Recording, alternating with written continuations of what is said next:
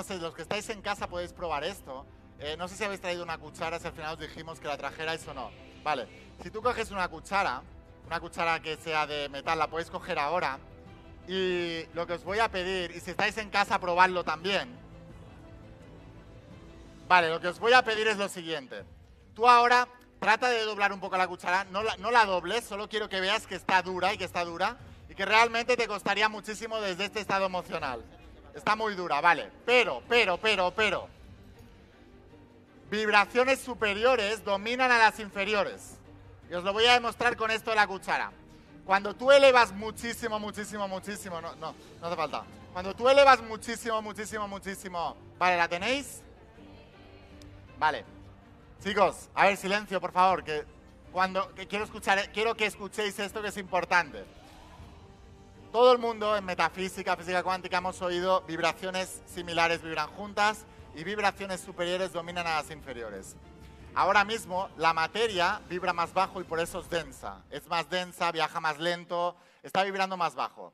Si tú estás vibrando al mismo nivel que la cuchara, la cuchara y tú vais a competir en energía porque estáis duros los dos, no vais a poder hacerlo. Si tú elevas tu vibración muchísimo, como tú estás en contacto con esa cuchara, vas a elevar la vibración de la cuchara y vas a poder manejarla mucho más. Así que vais a ver cómo la podéis doblar súper fácil. Lo único que necesito es que os riáis a carcajadas, como si no existiera mañana.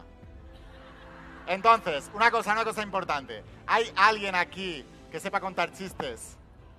O que tenga una risa súper contagiosa de la Virgen. No, Robinson no se sabe contar chistes. A ver, los de Huelva. vale. Chicos, si no, no importa, no importa. Hay una cosa, hay una cosa. ¿Tú sabes contar chistes? Vente para aquí, vente para aquí.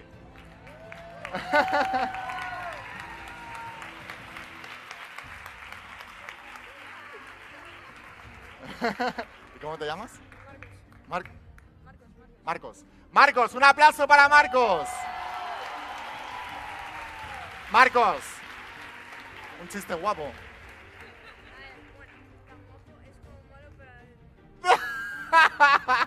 es como malo para vez bueno. Bueno, da igual. Lo importante, lo importante. Lo importante. Marcos va a contar un chiste.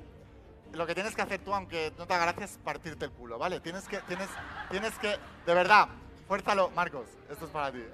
tienes que, bueno, lo más importante, ¿qué edad tienes? Mira, con 13 años está aquí en un evento. El tío sale con dos narices a hablar. O sea, yo estoy alucinando. o sea, no sé.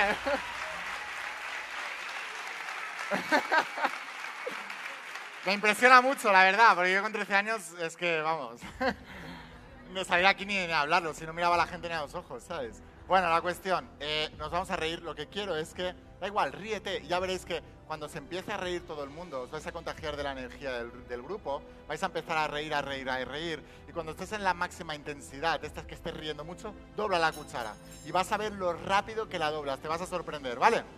Así que, Marcos, cuando quieras, métele caña.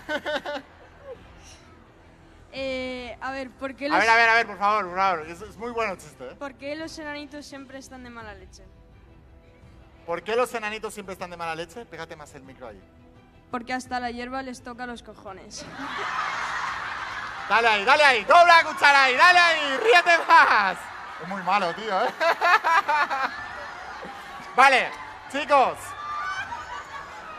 Un aplauso para Marcos, un aplauso para Marcos. Grande, tío, muy grande, ¿eh? Oye, encantado de conocerte, ¿eh?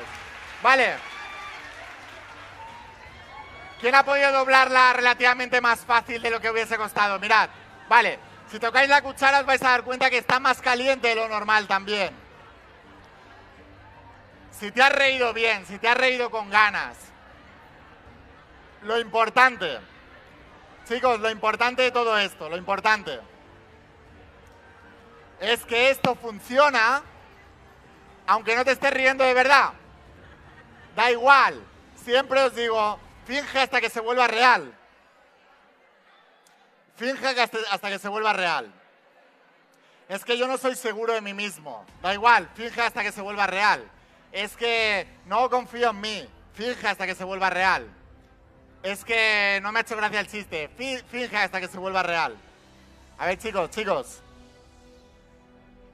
Vale, entonces, ¿qué es importante de todo esto? que ahora, si habéis reído bien con ganas, habréis visto que la materia se modifica mucho más fácilmente si esto estás en una vibración elevada. Una de las vibraciones más elevadas que hay es la risa.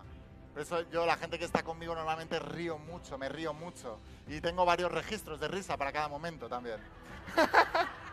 Entonces, me río muchísimo, muchísimo, muchísimo todo el día. Y es importante. Eh, el otro día escuché una entrevista a Jeff Bezos, el, el CEO de Amazon, y le preguntaban que cómo manejaba el estrés. Y decía, mira, yo tengo un recurso, me río mucho. Porque cuando tú te estás riendo, estás utilizando un canal que es totalmente lo contrario, es opuesto a cuando estás en miedo. Entonces, si tú te estás riendo, bajas el nivel de estrés porque estás en un canal opuesto. Así que la risa es una técnica espectacular, no solamente de elevar la vibración, sino también para romper el patrón.